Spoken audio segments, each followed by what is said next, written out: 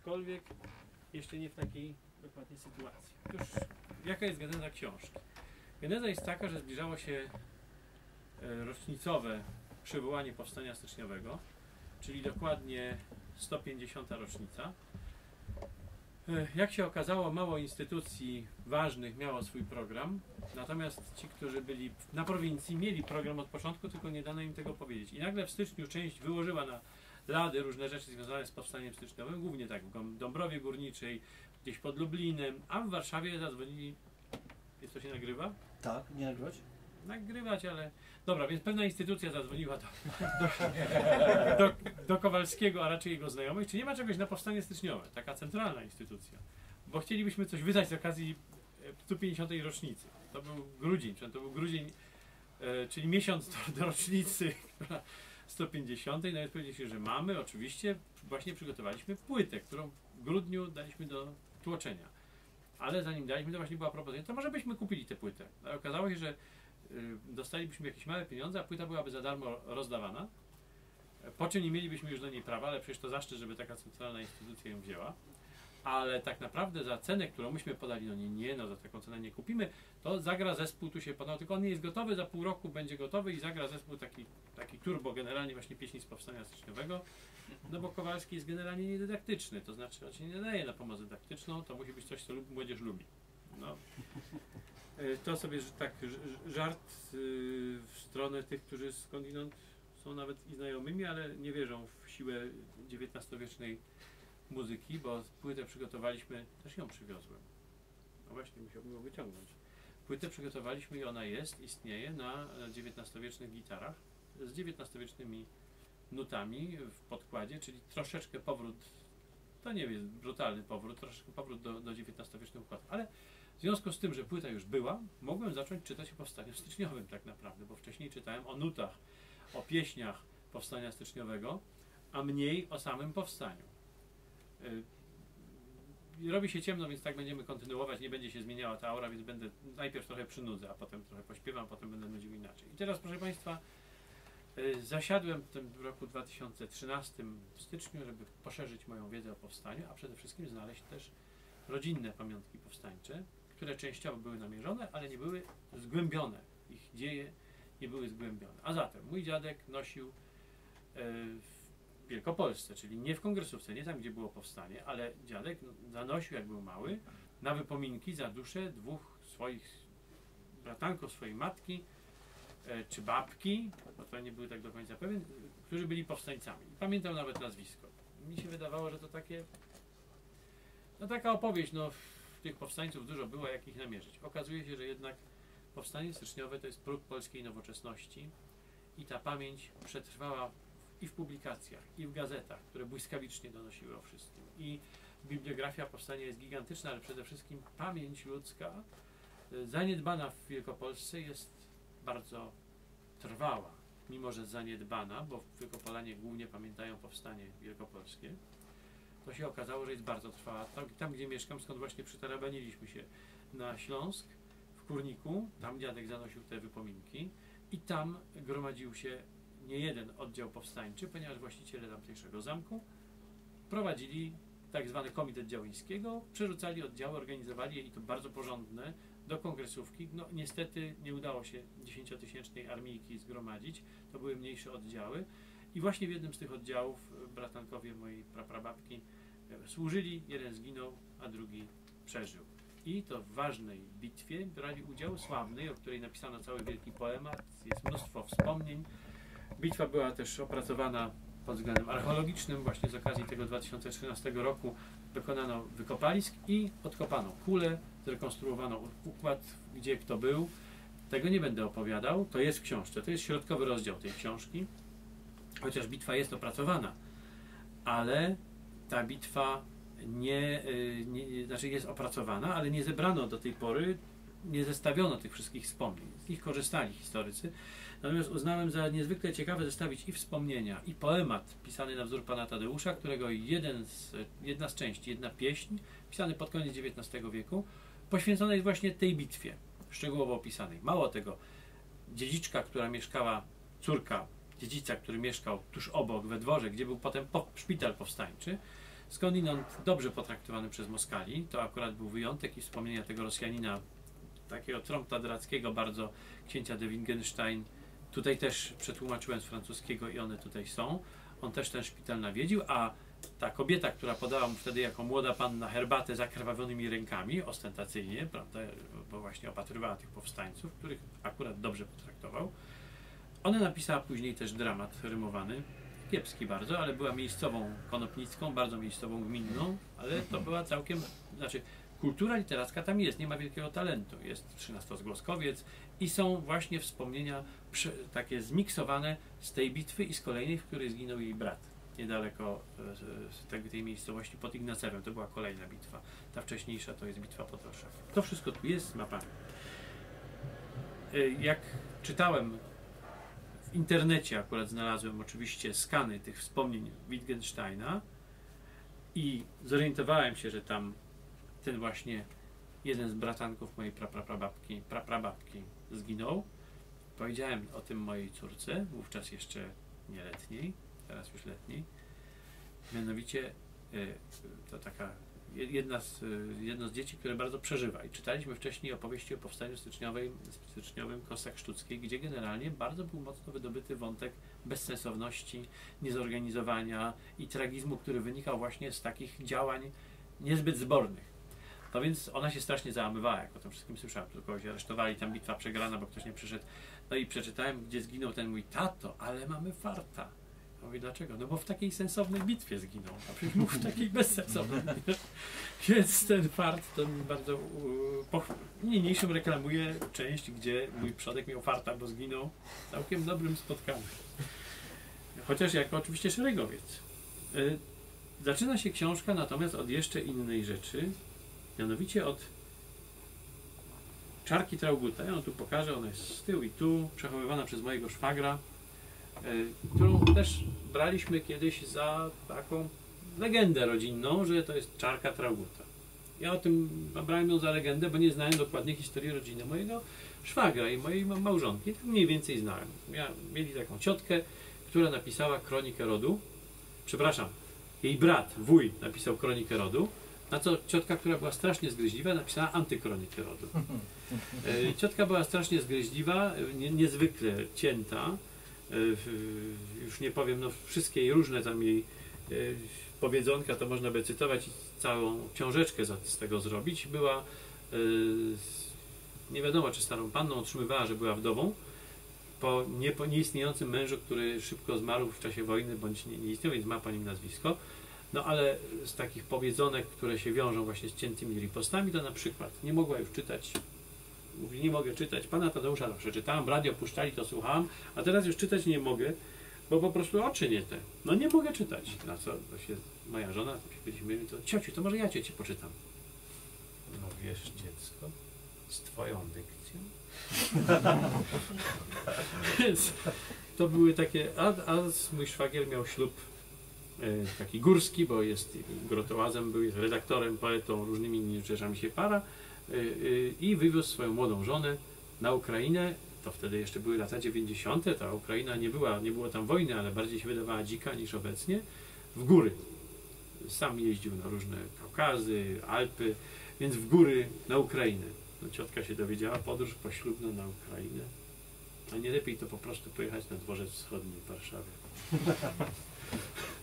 więc to był jeden z, jedne z takich milszych rzeczy i ona przechowała czarkę Trauguta i napisała antykronikę rodów, w której poświadczyła jej pochodzenie tejże czarki. Czarka okazała się rzeczywiście ostemplowana rosyjskimi znakami e, grawer, gra, grawerów i złotników i ma inicjały Trauguta, a jak sprawdziliśmy wersję zawartą w krótką bardzo, lakoniczną wersję zawartą w pamiętniku pra, e, tej ciotki, praciotki Ireny, to się wszystko pięknie zgodziło. E, przodek przodek y, mojego szwagra, czyli mojej żony i moich dzieci tym samym, walczył w powstaniu styczniowym, y, a jego syn dostał na chrzciny czarkę, która dostała się w ręce wdowy po jego dowódcy. Mianowicie wdowa po jego dowódcy, Brygida Jądziłowa, y, dysponowała czarką, ponieważ Jundził i Traugut byli towarzyszami broni, dowódcami dwóch sąsiednich, naczelnikami dwóch sąsiednich powiatów. I rzeczywiście w okolicach, w których mieszkała rodzina y, mojej żony wówczas, to było koło Pińska, kanał Królewski, no tamte tereny, tam oni się, y, jak głosi, wieści, głosi, głosi wieść, spotkali się w 1864 roku w maju, maju lub czerwcu, kiedy Traugud kilkokrotnie będąc w dworze Orzeszkowej, no kilkakrotnie, dwukrotnie konkretnie podejmował próby zorganizowania oddziału, co mu się udało, ale oddział został rozbity, aczkolwiek odnosił też sukcesy, co należy od, o, podkreślić. I potem po ucieczce do Warszawy, dzięki tym sukcesom, poważany jako były wojskowy rosyjski, który zna się na rzeczy, no zawędrował bardzo wysoko. Natomiast tę czarkę wymienić miał, właśnie z Jądziłem, mieli się wymienić na czarki, to jest właśnie taka ro, ro, wojskowa czarka, płótkę mierzyło się na czarki, czarka oficerska, wymienić miał się z, z Jądziłem na znak braterstwa broni. To jest króciuteńka opowieść na początek, próbowałem zrekonstruować losy tej czarki. Tutaj macie Państwo tych powstańców wielkopolskich, czyli styczniowych z Wielkopolski, którzy się przekradali dzięki Komitetowi Działyńskiemu, Działyńskiego i tu jest właśnie ten, o właśnie ten praszczur, który przeżył, nie zginął, nie miał farta, bo przeżył, ale potem za to udzielał się w towarzystwach rozmaitych, był krawcem, nikim wielkim nie ale powstańcem tak. I wreszcie to, o czym chciałem na koniec powiedzieć, poświęcić temu dzisiejsze spotkanie. Y, już widzicie Państwo, że tam, gdzie mieszkam, skupiły się losy dwóch elementów powstańczych. Czarki, której nie przechowujemy w domu, no ale potomkowie zrodzeni z mojej małżonki, potomkowie dysponenta tej czarki mieszkają w Kurniku. Samego Kurnika, który brał udział w powstaniu i to mocno bardzo, to bardzo wielu ludzi tam poszło i wróciło. I to są drugie, to jest druga rzecz. No i wreszcie rzecz trzecia, to jest pamiętnik, który kiedy ogłosiliśmy w kościele, że poszukujemy wspomnień po powstańcach, które zachowały się w kurniku, bo na pewno myślałem, takie muszą być. A mój kolega mówi, no przecież nie będziemy się zgłaszać, bo przecież wiesz, że mamy ten pamiętnik. Mówię, jak, no, wszyscy wiedzą. On, syn profesora z dendrologii, miał świadomość, no przecież wszyscy wiedzą w dendrologii, że mój ojciec przechowuje pamiętnik z powstania styczniowego. Odbitka jest w bibliotece kurnickiej. Oczywiście jest, ale żaden z badaczy o nią nie zahaczył. Zadzwoniłem do profesora, który dysponentem jest tego pamiętnika. To jest pamiętnik jego ojca, jego teścia, sam wydostał, profesor wydostał te, ten pamiętnik z, ze Związku Radzieckiego jeszcze w latach 60. od rodziny, która tam została po tamtej stronie.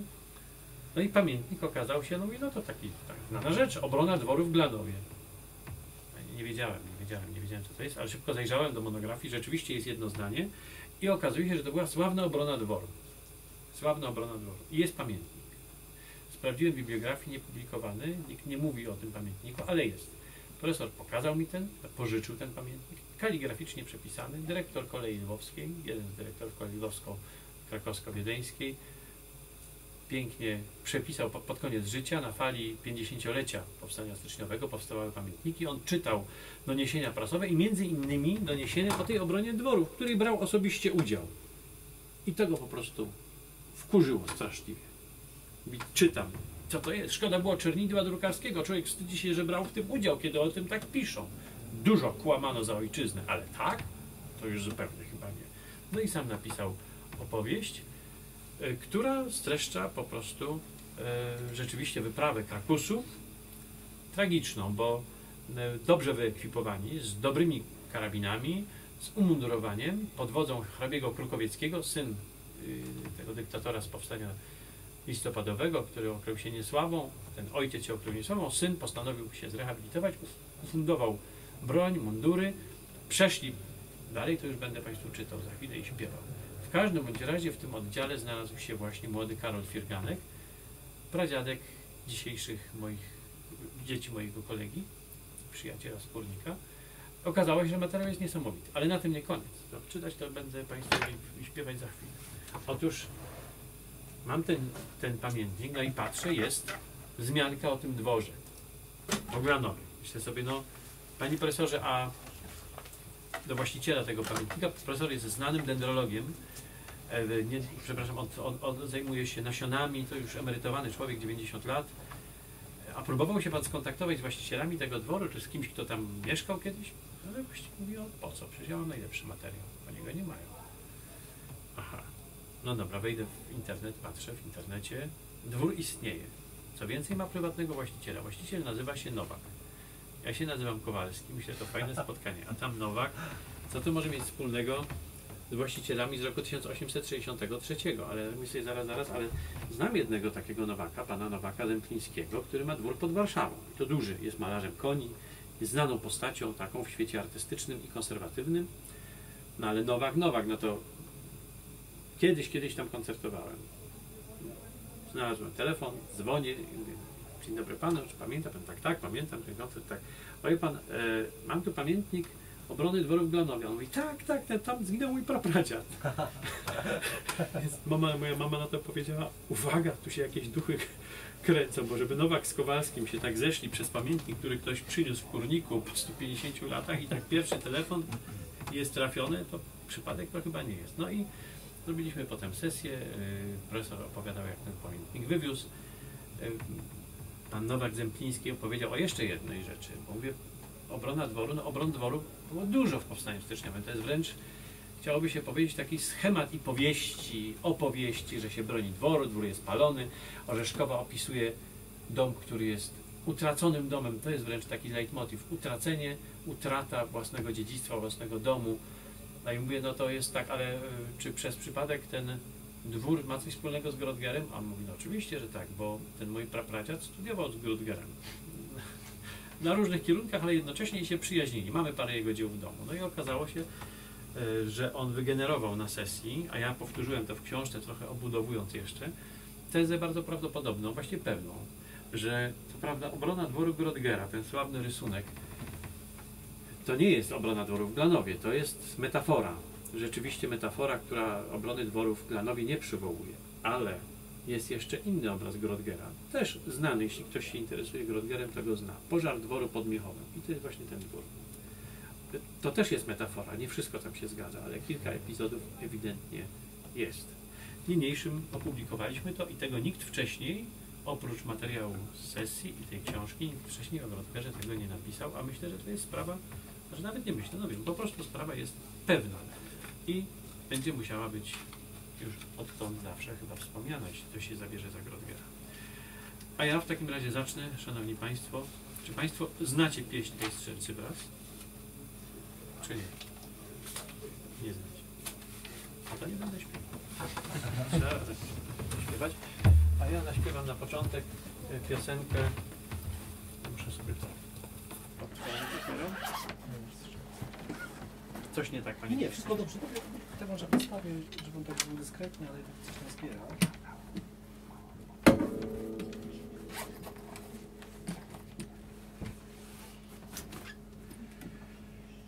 Nie będę piosenek opisywał specjalnie, chociaż normalnie w czasie koncertów, ale to kiedy jesteśmy we dwie osoby, to sobie te piosenki obgadujemy, bo tym razem tematem jest jednak książka. Mieczysław Romanowski, Lwowianin, który